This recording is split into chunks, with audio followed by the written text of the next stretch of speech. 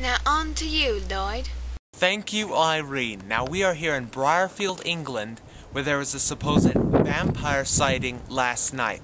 Now let's walk over here a ways to the witness, a Miss Elizabeth Blum.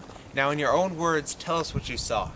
I took a walk with my dog, and as we came back, we saw a dark figure in the shadows. It crept into the pathway of the security light.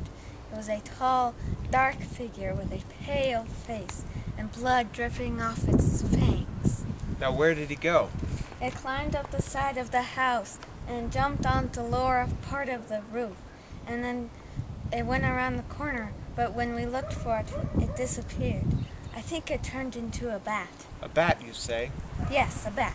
You think it literally transformed into a bat like is taught in vampire folklore? Yes, I'm sure of it.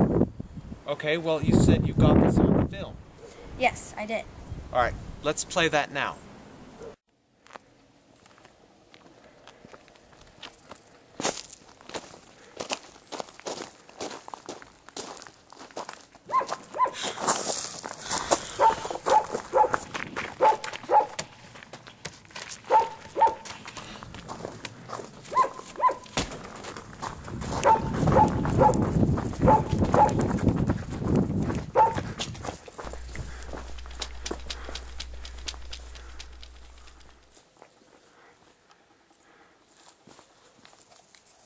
That was some truly interesting footage there.